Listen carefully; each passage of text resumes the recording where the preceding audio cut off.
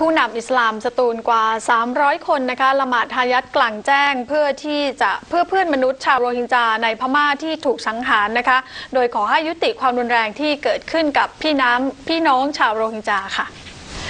สำนักงานคณะกรรมการอิสลามประจำจังหวัดสตูล นายอรุณอุมาจิ ประธานคณะกรรมการอิสลามประจำจังหวัดสตูล พร้อมคณะกรรมการนะคะ เชิญผู้นำอิสลามอิหม่ามกอเตบบิลัน พร้อมกับประชาชนที่นับถือศาสนาอิสลามกว่า 300 คน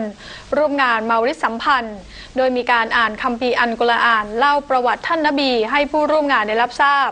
พร้อมทั้งได้มีการจัดกิจกรรมละหมาดทายัดเพื่อขอดูอาให้กับพี่น้องชาวมุสลิมในพม่า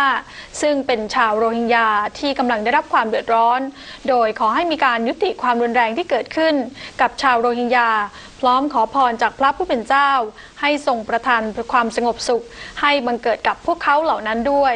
และเพื่อแสดงให้เห็นว่าประชาชนอิสลามในจังหวัดสตูล ไม่เห็นด้วยต่อการกระทำความรุนแรงต่อเพื่อนมนุษย์ในทุกรูปแบบ ที่ทำให้ชาวโรฮิงญานั้นเสียชีวิตเป็นจำนวนมาก เพราะทุกเชื้อชาติศาสนาต้องการการอยู่ร่วมกันอย่างสงบสุข หลังจากนั้นนายอรุณอุมาจิ ประธานคณะกรรมการอิสลามประจำจังหวัดสตูล กล่าวว่ากิจกรรมในวันนี้ ได้มีการจัดเพื่อถวายพระพรชัยมงคล